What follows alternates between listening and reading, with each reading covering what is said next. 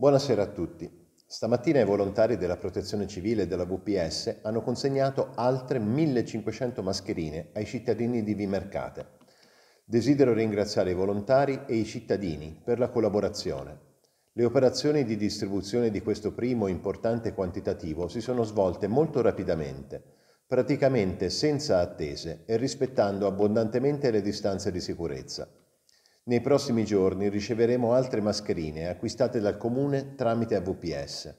I volontari della Protezione Civile stanno organizzando una distribuzione capillare a partire dai quartieri più periferici, che hanno avuto sicuramente più difficoltà a raggiungere i punti di distribuzione di questi giorni. Devo ringraziare di cuore i volontari della Protezione Civile e della VPS, che stanno svolgendo un grande e generoso lavoro per tutti noi da settimane spesso trovandosi a far fronte alla rabbia e alle difficoltà, anche emotive, di molti cittadini. Ringrazio in modo particolare i nuovi volontari che in queste settimane si sono messi a disposizione rendendo ancora più solide le nostre associazioni. Ricordo che con le mascherine che abbiamo acquistato, per adesso riusciremo a fornirne una per nucleo familiare.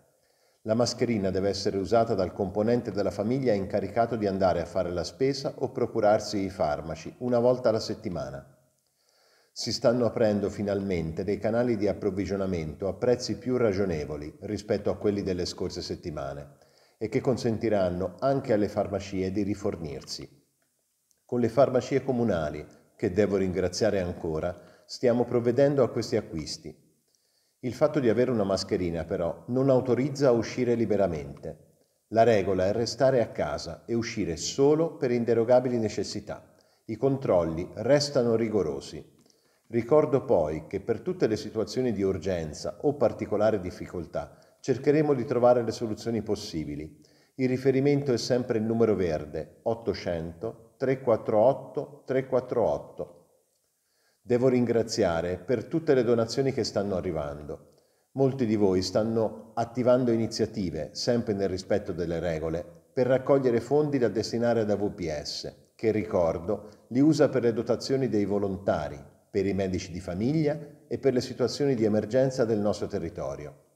Altre donazioni stanno arrivando da molte aziende del territorio, che devo ringraziare per la loro generosità e tra queste voglio ringraziare Brianza Acque che ha destinato fondi ai comuni soci. Per Vimercate la cifra donata supera i 40.000 euro.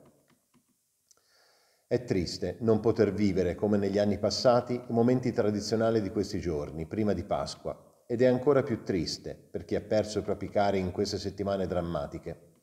Il divieto di spostamento va preso sul serio e così come per le celebrazioni religiose, anche i cimiteri non sono aperti ai cittadini.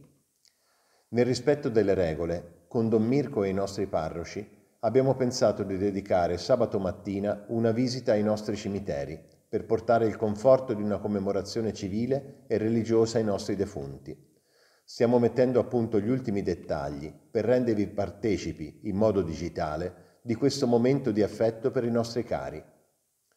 Sul fronte del contagio, Vimercate conta un numero di positivi accertato che è salito ancora di 3, arrivando a quota 158. Sappiamo che questo numero non è molto significativo, ma deve servire a capire che l'emergenza non è finita e dobbiamo tenere duro, anche se siamo stanchi, anche se i bambini vogliono andare al parco o se ci sembra che non ci possa essere niente di male a uscire anche due o tre volte al giorno per fare la spesa.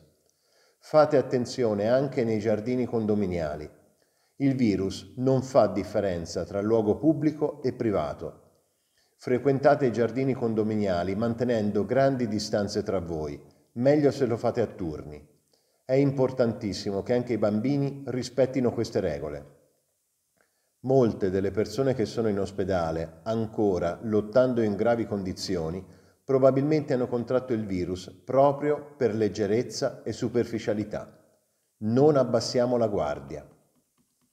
Stasera voglio salutarvi ricordandovi che il Comune ha una sezione La cultura non si ferma, con iniziative digitali di lettura, teatro, arte, mostre, eventi, corsi, area bambini e ragazzi e adesso anche le dediche d'arte. Vimercate esprime anche qui la passione e la voglia di cultura e vi invito a visitare il sito. E un grande grazie a Matteo Brambilla per aver dedicato a tutti noi Do, Re, Mi, suonando contemporaneamente quattro strumenti e dandomi l'occasione di ringraziare con affetto tutto il nostro civico corpo musicale.